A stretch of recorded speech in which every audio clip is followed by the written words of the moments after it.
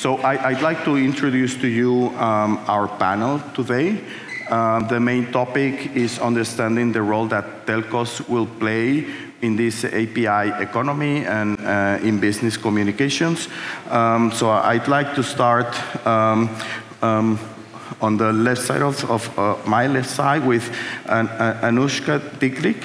Uh, she is uh, working with KPN Open Innovation Hub, and I would like to ask you to do just a quick introduction of what this means. Yes, I'm working within the KPN Open Innovation Hub. It's a separate unit within KPN where we start new initiatives and experiments, and if it grows bigger, we bring it back uh, to the business. I'm responsible for our platform business models, and that includes uh, the API store. Thank you. And we also have uh, Marjukka. She is the founding pa partner at Osaango Oy. Can you just give us a quick explanation of what you do? Hi, or moi, as we say in Finland. Um, some of you might have learned this today. Um, I'm an API economy and API architecture uh, trainer, consultant, and also the author of uh, API Economy 101 book. Um, and I'm here, I think, because I've also got myself mixed up with some telco and some CPaaS, let's talk about that term later, uh, vendors and, and uh, customer cases. So thank you for inviting me. Thank you. And we have uh, Bahadir from uh, Proximus. Can you tell us just quickly what you've done in CPaaS? Yes. Um, what, we, what we have done in CPaaS is, um, in maybe a few words, um, we started about five years ago that uh, we had to change. So we had to uh, adapt to what the customers were expecting from us, which was uh, opening up our, our assets um, and we decided that we could not be everything to everyone. So uh, we said we are going to just focus on a couple of um, vertical, or sorry, horizontal solutions, and we developed just a few uh, key solutions, and that's a key word. Uh, we didn't really focus on the building blocks.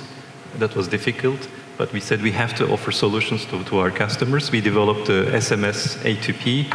We focused on uh, also IoT and, and data analytics. So it's not pure CPaaS as we yeah. think of it, but we found a few key solutions like uh, real-time analytics, which was leveraging our networks. And uh, I'm happy to say that our SMS A2P business is growing very well. So it's, it's a very healthy business. And we are now seeing also good traction for the other solutions like voice APIs. Requests are coming in from the, I would call the pioneer customers. Thank you. And next, we have Franck Malka from JpU. Can you just give us a brief intro about JpU? Yes, we are uh, providing APIs for uh, the mobility world. So we are enabling uh, enterprises to configure their mobility plans, their connectivity, and their mobile devices using APIs uh, on top of the public network and create some kind of virtual uh, network they can protect. Thank you. So uh, there are some questions that I prepared uh, for, for our, our, panelists and we discussed a little bit beforehand. So the, the first question that I'd like to start and maybe uh, if I can begin with Marjukka, um, what can you tell us? What is your assessment in terms of the current status of telcos CPaaS? There's always a question of whether telcos have been slow to the game, whether Twilio has been around for 10 years. Are they eating their lunch? What is your take on that question? Well, the question I think is what is the game? Uh, because, like you said, uh, there are a lot of things that telcos can do. It's actually very hard to say what is a telco because they are basically supermarkets and wholesalers and tailors and all kinds of things. And um, I think that if you talk about API economy or like APIs, um, then um, a lot of the telcos have actually been there all, a, a, long time if you count all the SOAP stuff and, and kind of legacy APIs. But I think that's also the problem because they have had a working thing. Why change it? But now that they are con consistently going into um, this customer experience and digital services and more into the kind of retail space in the whole, you can buy almost everything now, like candy almost in, in the telco yeah. stores. So um, they have to go into the newer uh, evolution of APIs, and that brings the problems. They have the very, very new stuff, and they, then they have the legacy platforms, and they have to keep still the networking and the kind of the telephony part of things working, and, and that's a huge thing. So um, yeah, I think that the CPaaSs are just as a very short answer, but they are in a place where it's a more of a green field. They can just leverage the stuff that the telcos have already done, but then build the whole new stack there and, and the whole new way of customer service and be there for the builders, not necessarily developers, but builders of other solutions. Yeah, I could say um, that from my experience, I think I do agree it's a greenfield opportunity, and I think that telcos are actually uh, emerging right now uh, and, and, going into a new stage for what we have been calling CPaaS. So I, I, personally think there's a natural evolution. One thing that I found very interesting about what KPN and, and, and Proximus have done is um, you seem to have moved very fast, which is extremely hard in a telco environment, and I could say unusual, particularly considering that, that both telcos are actually the, the largest in their respective countries. So um, I know that you handled this project with uh, certain considerations, so I could like to ask our two guests, maybe starting with Anuschka, how were you able to pull this together in such a short period of time? Um, because we started very small. Um, so we started with the API store as a, a, really tested in the market, and what we already saw, and I think that had to do with timing as well, that our clients were really asking for services through APIs. Yeah. So I think we paused the discussion a little bit already if we had to do it, yes or no, but it's more how we were going to do it. Yeah. Uh, and we really approach it from a marketplace store perspective.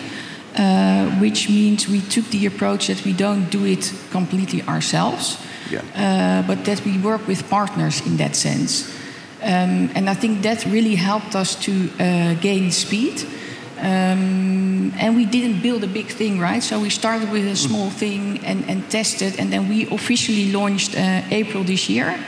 Uh, while before they're doing several iterations to build a platform and to make it more uh, sustainable and scalable. And the, the fact that we have uh, different propositions from KPN and other partners, and a lot of them are here because we work with the bigger ones and the smaller ones. Um, I think that really, uh, for us, gives us a place in the ecosystem as well. So, so just to give context before we get to the next speaker, can you share with the audience um, from the uh, initial stage until you launched that first iteration, like how yeah. much time we're talking about? Yeah, it took us uh, four months to uh, launch the MVP. Um, and then it took us uh, a year to do the full launch. And mm -hmm. in the MVP, we had three APIs. And then we hmm. really started with working with use case and bigger bigger clients, uh, like KLM, for example, as an uh, airline company, yeah. to really uh, learn and uh, develop it further. So, so you, uh, again, to clarify, uh, this was like an initial prototype, but it was in production. Yeah.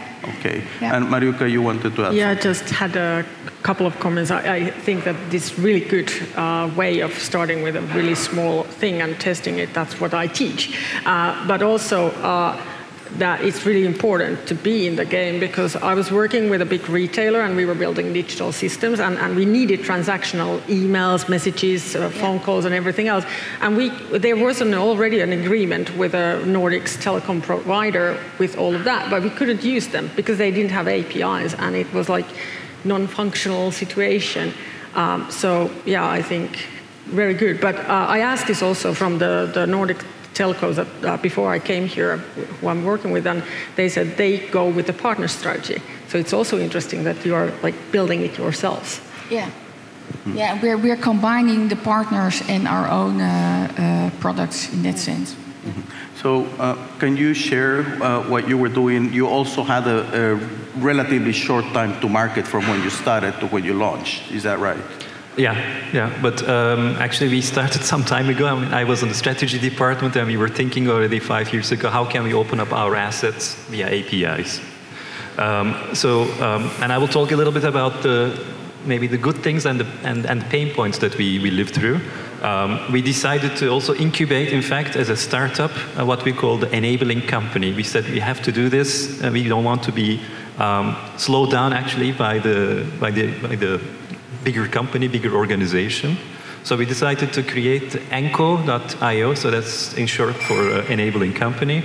And um, as you said, we chose a number of trustable partners especially for IT, for our API management platform. And, uh, and we quickly built, in fact, a number of uh, greenfield solutions. And that was really good, actually, to quickly bring uh, our partners. And I cannot emphasize enough, you really have to have, I think, good, good partners to help you go to the market, to explain the value proposition to the customers because you're not top of mind for many of those. They will indeed go to Twilio or to, to somebody else, but you also offer something that is as good, perhaps even uh, more relevant to them because you're local to the market. So um, we went with our SMS A2, A2P solution with our partners. Uh, we are also working at other solutions. Um, that was a good thing because we could indeed relatively in, in uh, less than 12 months, one year, develop solutions. As I mentioned, we have multiple solutions like SMS, like uh, real-time analytics for uh, uh IoT, MyThings, that is leveraging also the network. But what we uh, realize afterwards is that when you create a startup and you want to scale up, then it becomes a big challenge because you want to develop some brownfield solutions. You want to really, or your customers come to you and they say, look, I have a use case and I want you to help me because uh, you're already helping me in that context, for example, customer engagement. And then you sort of start seeing the, the, the big challenge that you have to start using your governance process. You have to start using your, your, your security, your identity management that you're already uh, using for your other products. And that was, I think, for us, the, the next level of challenge that we have to, we have to solve. Thank you. So there's some really interesting elements that I see coming together here. So you have the, the telcos that have uh, a real estate in terms of, of, the, of the market, not just the consumer, but, but also enterprise. And you, you're bringing up, I think, two components that kind of uh, make an interesting mix. You're talking about the business model with the marketplace, and you're also talking about your partnerships. And, and we have here also on, on the panel one, one uh, uh, different business model, but from the perspective of, of the of, the partnership. Can you tell us a little bit about what your experience has been uh, with this uh, business model uh, for the marketplace? Yes, so, so for us, I mean, as a startup, we are uh, bringing trying to bring innovation and uh, uh, in a world which is uh, very strict and closed. So, so opportunities like stores which rely on a big network are a great platform for us to expose our capabilities uh, to, to the enterprise. Okay, so what, what we did, in, in, fact, the concept of our platform is uh, providing uh, a network slice. So network slice is a 5G concept on the mobile network, uh, which allows to segregate the network in uh, small pieces. And, and you can imagine that each one of these pieces could be assigned to one enterprise with APIs, and then this enterprise could have full control of this piece. And, and we are doing this uh, on 4G and 3G as well. Uh, and, and for us, without these uh, telcos opening the doors to new technologies, mm -hmm. it would be a challenge to get into the market. Thank you. So, um, can, can you give us an idea uh, if, if it's possible for you to share some of the names of your partners? And I know that the value chain can be complex, but can you share who you're partnering with on the technology side, but also on what is actually on the marketplace? Yeah, yeah. We um, we partner with uh, Apigee for our API management uh, platform. Um, and the partners that in our store are also with their name in the uh, API store. So developer.kpn.com provides you the, the marketplace. So we just uh, welcome JpU, for example. Mm. Uh, but also uh, VoIP, for example, Ribbon, Nexmo. Um, but also smaller uh, Dutch company like Contexta, who's doing speech to text. NAI uh, really focus on the Dutch language. So we are really looking at bigger and smaller companies, and there has to be a match in the partnership, right? So we have to bring value to the partner, and the partner has to bring value to our clients, and that can be a company that doesn't want to build their own footprint in the local market, or a smaller company that doesn't want to do the distribution themselves. Um, and for us, it also brings a um, added value to the current KPN portfolio because I think it's a new way of going to market. But also, if you look at some of our clients who already uh, have a call center solution but want to add functionality, then this is a good way to uh, to add it through APIs from the uh, from the API store, for example. Thank you. And the same question: Can you share some of the names of your partners? Yeah. Uh, first, maybe I want to emphasize one thing that we our approaches are a bit different. So uh, you are working with a lot of, I think, external partners. Um, for whatever reason, we didn't. We decided not to do that yet. So I think we will probably probably look into that, and that's one of the reasons why we are here. Um, for uh, for the technology partnership, uh, we use a local player uh, for for the development. We used for the API management platform WSO2. We're very happy with it. Um, and then we have a number of affiliates that we acquired for the, to build the front end. Yeah. So if I may drop a name, it's Embrace. It's a very small company, but they, I mean, they, they really helped us build a very, I think, attractive front end to, to attract the developers because that was also initially the target to, to approach the developers. That's a bit the, the technology part. For partnerships, um, maybe one or two names. Uh, Ring, Ring Ring, I don't know how many people know that, but uh, it's, a, it's a small Belgian company, and they're really focused on actually connecting customers for, uh, for A2P SMS messaging. And there we really saw a big, uh, uh, I think, uh, complementarity between the two firms. That they had the reach, they could get to the customer, explain the value proposition, and we had the capability to deliver on the promise to make sure that there was business continuity, the quality was there, everything that they expected uh, from us that we could we could deliver. Thank you. So, uh, just one more question for, for both of you, uh, uh, quickly. Um, can you share with us uh, what do you think has been very successful? Where do you see this model gaining traction? You mentioned some um, applications that are for customer engagement, but I'm sure you have other examples. Yeah, well, we started, uh, well, obviously KPN on the communication side. Uh, so that's SMS, uh, voice, video. Um, and we, in that sense, we follow also the, the KPN portfolio. Uh, but we see a lot of traction also in certain verticals, like health, for example. Uh, to bring down the cost in health, you see more and more uh, hospitals going to video calling, for example. So we've also got one case with a software development company where they use our video solution, where patients can do a video call uh, with their doctors. Of course, security is very important in that sense. But then, as a next step, you also see that identity becomes very important because if you are doing digital communication, identity becomes uh, a very important, especially in the healthcare. So we see then that it's moving to, to different categories where people start having additional questions and looking for uh, additional solutions. Same question. Um, I, I think Anuschka is completely correct. Um, a few years ago, uh, we acquired Telesign, actually. So it's, uh, well, it belongs to the Proximus Group. Um, I think it's one of the key things about when you mentioned identity management. Uh, uh, uh, Telesign's one of the key value propositions actually is, uh, is identity management. For us, um, I would say customer engagement, but we try to take a more holistic approach.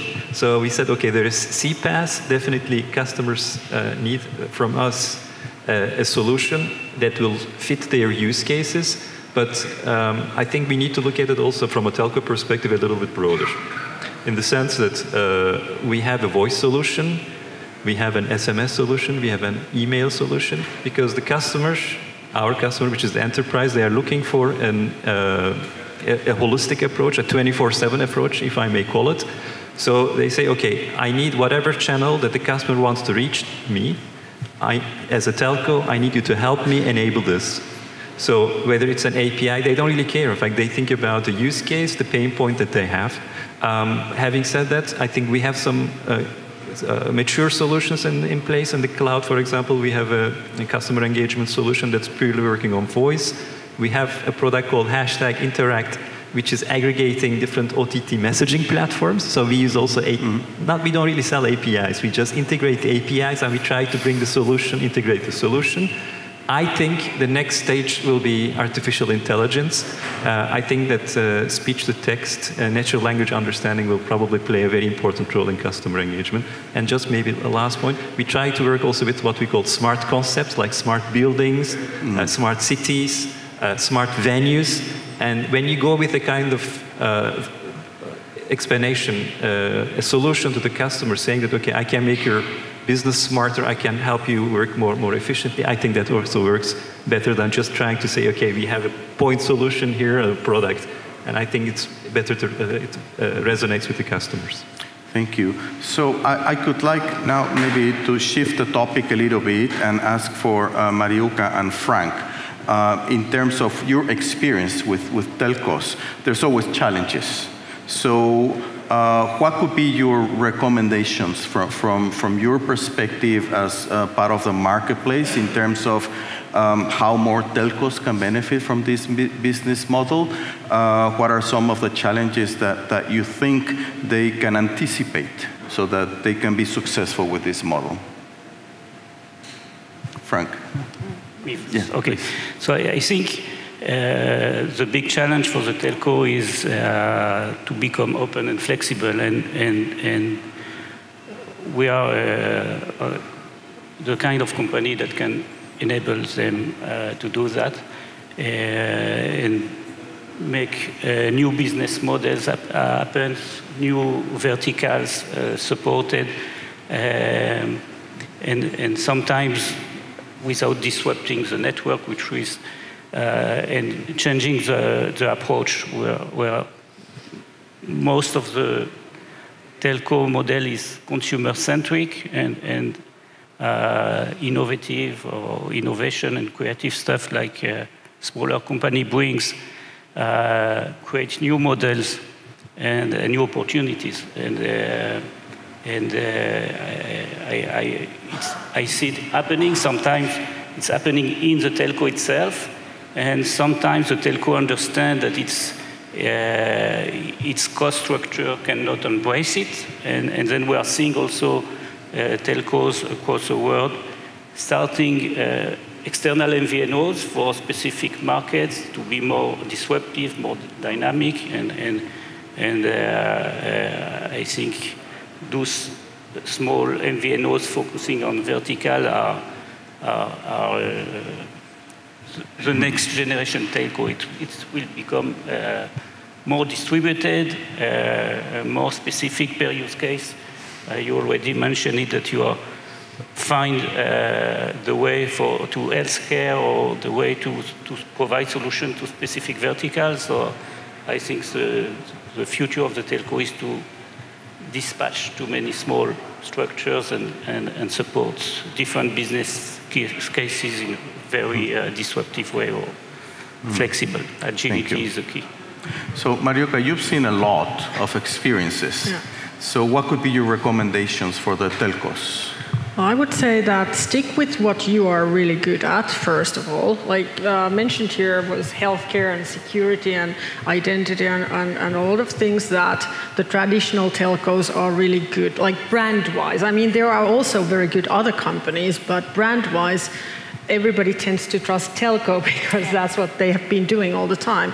And um, also, telcos are kind of uh, globally local. So there is always that local network mm. operator, the local companies. They might be working in other countries too. They might be partnering. Uh, like I was just talking with Telia, one of the, the Nordics um, operators, and they are making a partnership with AT&T. And um, I think that that's kind of the, the strength of them. So they have local presence, uh, but then uh, if like you were saying about the kind of omni-channel three, I would call it 360, not 24 uh, communications. So, so I mean, like email, SMSs, video, audio, everything, um, and and also while working with uh, um, some US-based uh, speech-to-text uh, companies. So one of those uh, is a very good uh, add-on to the service. But what I would want to see is that um, I don't care kind of like who's providing the channels to communicate the customer. I just want to get my message through, and I want it to go through with the suitable method for that person or that recipient uh, in the like given the context that they are in. Like I was using the KLM um, flight uh, airline while coming here, and they had this check these boxes what channels you want your flight information to come through. And there were a lot of boxes. There are a lot of different channels uh, from, from WeChat to everything else. And i really like that but on the other hand i don't care. I just want it to be coming in with the messaging platform that is useful for me in the context of traveling. Um, so i would kind of see it so that um, the telcos could be the local customer interface to these CPaaS and whatever platforms that handle the, the contextual communication or like put the context to the communication and handle all these mm. channels. And some of the channels can be owned and operated by the telcos themselves, but kind of like how they are combined together. And then coming into the um, kind of consultancies and, and all kinds of software providers who then provide the solutions to that specific industry. So, like, maybe mm. the telcos shouldn't do all of it themselves. Hmm. So I, that's really interesting, and I think it brings us back to the marketplace business model, which, which seems to be, at least for these initial uh, early deployments, what, what uh, seems to be a, a, an ideal solution. Do, do, and I could like to ask the, the entire uh, panel uh, your, your opinion. Does the um, API marketplace for telcos, do you see that as a way forward, or are there other alternatives that you might consider eventually? Maybe Anuschka? Yeah, I, I think um, what we did, we brought it a bit further than the marketplace because we thought that was not a, uh, enough fitting our clients' requirements. So um, if you have the different APIs, you in the end get one invoice. So we do the billing and the invoicing, the first line support. As a developer, there's a one-time registration, for example. So that's really catered for the enterprise market. So we mm -hmm. wanted to add value on that side. Um, so that goes a bit further, I think, than just bringing the buyer and uh, seller together. And I think there are also successful models uh, like that in place as well. But that's not the model that, uh, that we chose. Mm-hmm. I think that that's a question of are you in the platform economy business model uh, where you use just everybody else's resources and get them together, or are you the reseller? But I can't emphasize more the value of invoicing because uh, in the retails and in, in insurance companies and other companies, for example, in Finland, the one problem has been with all of these microservices and API economy that uh, the managers run out of credit uh, with their credit cards, yeah. and then the whole digital service uh, framework is stopped. Yeah, so, so that's one thing. But I also see uh, examples, for example, from content streaming that um, there are these, these uh, platforms of platforms. So basically, somebody else comes in and makes uh, an API uh, uh, providing platform that combines several different telcos or content providers or logistics providers. So that is one business model that you should be all aware of because that will probably happen. Mm-hmm. Uh, for me, I would look at three things. Uh, the first thing I think is uh, when you're designing a marketplace, you have to know your customers. So, what is the consumption model that uh, your customer is going to come to you, and who will be your customer? Now, um, our experience is that we build something for developers, but Belgium is not a very large country. We don't have a huge amount of, of, of developers. Um, as I also said in, uh, previously, uh, we also uh, were working in a startup mentality. We were not even using our own brand. Uh, you didn't go to Proximus.com to, to look at our uh, CPaaS uh, or other solutions. You, go, you went to another website. So I think the, the second one is leverage your brand, leverage your internal capabilities, your sales channels, your partner channels as, as much as possible. And the third one, I think, is a digital journey. So the, how you're going to onboard the, the customer, the frictionless, in fact, onboarding, how easy it is for them to quickly come and take the service, buy the, buy the service. But don't also forget that, at least for us, you are working with large enterprises. They have procurement departments, they have different decision makers. So you have to make sure that you can cover those, uh, those different um, buyers uh, with, your, with your solutions. Maybe the, the developer will come to your, um, your marketplace but he may not be the one who's making the or who's clicking on the buy. So you have to make sure that you can invoice it correctly. You can use or offer them different channels, not only your marketplace, but different entry points. And I insist that they all be digital so that they can quickly move them and, and consume the service and can be invoiced. Mm -hmm. Thank you. Um, so, Franck, what do you think of the uh, marketplace business model? Is this something that for you represents value, something you could like to move forward with? So it is, it is a platform that, that has a value, but, but at the end it needs, it needs to remain open. I mean, I, I, I like the idea of getting one bill, but I can't like the idea of getting uh, all the services from one place because uh, I always want to be more open.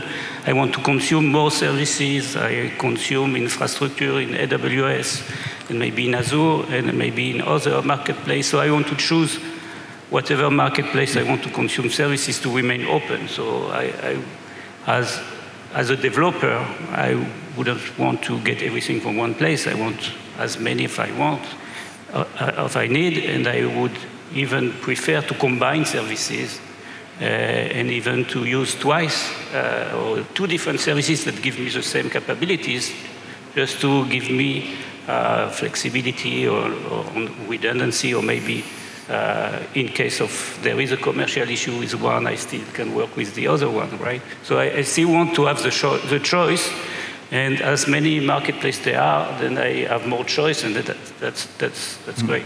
Thank you. So we have about eight minutes, and I'd like to open now for any questions that we may have for, for the audience. Um, so please raise your hand if you have any questions. Otherwise, I, I still have more questions. um, any, any questions? Nope, not yet. Okay, so just raise your hand if there's any questions from the audience. And I'd like then just to uh, think right now about the, the challenges.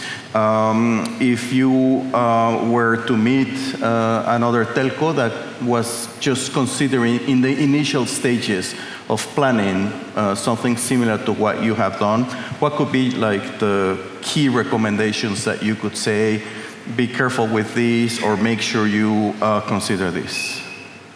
Anuschka. Um, well, I think it's, you know, putting the small thing together um, is not the, the biggest challenge, but in the end, you want to integrate it with the current business and portfolio.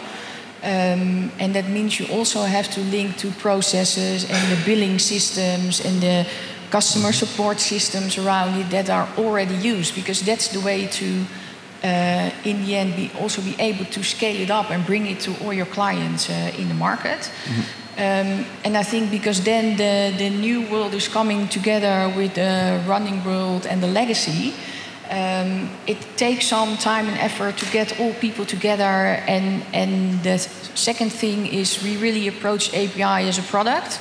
And that's something we really had to get across the organization to make sure mm. uh, people understand that and to show the value and convince them of that. But so that are the two things I would recommend. Hmm. Thank you. Do you have any comments yeah, on that? Yes. Um, I couldn't agree more, except a couple of things I want to kind of elaborate. Um, I'm, I'm seeing, luckily, the Finnish telcos embracing uh, API cycles, the method I was creating, and that's essentially what you are doing in a way that API is, is handled as a productized service, uh, not necessarily as a product. It can be, but, but uh, otherwise. And there is a strict value proposition there, and there are all the people involved. But the thing is that with telcos, there's a lot of um, customer-specific implementations, and uh, I'm seeing in the Nordic telcos that they are experimenting a lot with things. They are experimenting with like uh, industry solutions with 5G. They're experimenting by putting streaming devices and networks in a car and in a football field and a lot of other things that actually demand their own APIs. And so I would be a bit careful on the kind of treat everything as a unified product, like serve everybody the same product. Maybe not so, but if you do APIs, you should be very careful in the product management that you uh, identify exactly what is a unified, unique, like uh, one product served like that for everybody, but what is then also kind of customized solutions, which is still worth making. And for the API management vendors and consultants be aware that aware that the, the telcos have tons of APIs and the solutions are going to run out of memory and it's it's a trap. Yeah. Thank you. So there's a question from the audience. Mark, can you yeah, please go thanks. ahead? Um, yeah, it's a really interesting discussion, and, and I, am wondering for the, the, the two um, carriers here, KPN and Proximus, if there's any um, what you've described, and I think where you both sit in the organization, is around these commercial offers, right, of APIs either through marketplace grocery stores or opening up APIs for SMS or voice, et cetera. Um, but there's a, a lot of um, development in network operations, in IT architectures, that's moving you know, the, the entire environment, all those domains to microservices and APIs. And in fact, that's probably a richer, more innovative set of activities than what you're doing on the commercial side.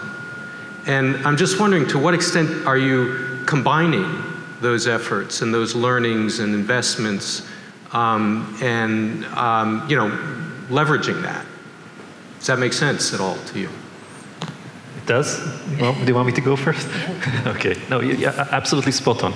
Um, indeed, when uh, we, and maybe I'll disclose a little bit of our thinking.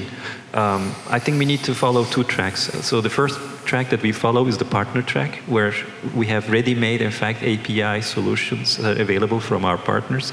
But we did an analysis, and in fact, the guy did, who did the analysis sitting there, our, in fact, uh, architect uh, at Proximus, um, and we looked at our available APIs for voice. We looked at our existing platforms, and we were absolutely blown away by the number of APIs. And I talk about uh, a number, not really the ready-made solutions, but you have more than 100 APIs in multiple platforms that you can expose and you can offer it actually as a solution to the, to the market. But then we also realize the challenge that these are not really product APIs, they are just APIs to make the internal communication, the billing and, and the provisioning, etc., to make it, make it easier. So yes, we want to expose them, but then I think we will have to go through a much longer development cycle. As Anuschka mentioned, I mean, you have to take care of billing, you have to take care of um, security, you have to take care of exposing an, an API that, that wasn't designed initially with that, with that mindset. So I think it's a bit of a challenge to, um, to, to, expose those. It will take a bit of time, but I think probably at the end we will have a much richer set of uh, features or, or, or, solutions that we can, we can bring to the market than we realize. Mm -hmm. Thank you. So um, we, are uh, almost at, yes, is that a question? Yes, please.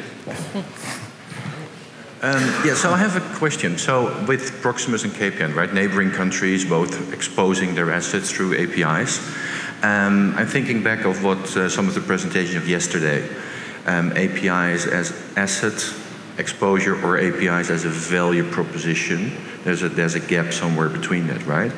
Um, and the, thinking back of, of, to Jose's presentation yesterday about, let's say, the concept of a platform it would be great if an application that was developed in the Netherlands on top of the KPN telco APIs would actually work also when you drive across the border into Belgium. Because that's the proposition basically of Twilio, right? It's a global thing. You write it once, it works globally.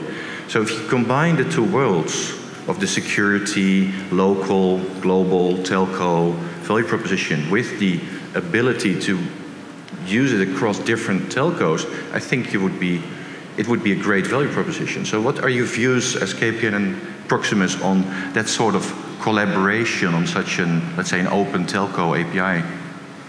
Yeah, that's something we are, we are looking at. Um, we also discussed, for example, uh, blockchain as a service solutions and something how we can uh, do that across the border and uh, work together. Um, so, and I think you can do that with telcos and also with other parties. Um, but I think, especially if you're not in the same market, it's a very good way to uh, to do that. No, I think we are already doing part of that. So we have the roaming, uh, and and I don't talk about the roaming of the the typical mobile network, but we have what we call the LoRa network, uh, low power. And actually, we met a few people from KPN uh, previous years, uh, and, and we are actually completely, uh, if you take, buy a service, in fact, from KPN, and you bring that service to, to Belgium, it will continue to work because we have a roaming agreement. But broader, I think you need to have a kind of uh, open, open standard where the service that you start using from KPN or from Proximus needs to be sort of cross-border compatible with, uh, with each other. Um, I can give you one more service example, which is RCS. I think uh, RCS is going to be also uh, fitting, that, uh, fitting that description. But for the more proprietary services, we have to get together and we have to, I think, uh, that's my takeaway at least, so maybe I'm going a little bit uh, over time, but um, I didn't see more telcos. I, I, wish that we could sit together also with uh, other telcos uh, from, from the Benelux and say, okay, let's sit around the table and try to come up with some standards that we can offer to our customers. That because I, I fully agree with you, that's a very, I think, key value proposition to tell to customers it will work across uh, uh any operator. It doesn't matter from where you buy. Well, thank you. We, um, as you say, we're, we're over time, so I'd just like to very quickly thank our panelists. Uh, this is a, a, a, very interesting experiment. It's still very new, so thank you for sharing your, your experience and Marjukka for your, for your uh, knowledge in, in the field. Thank you very much.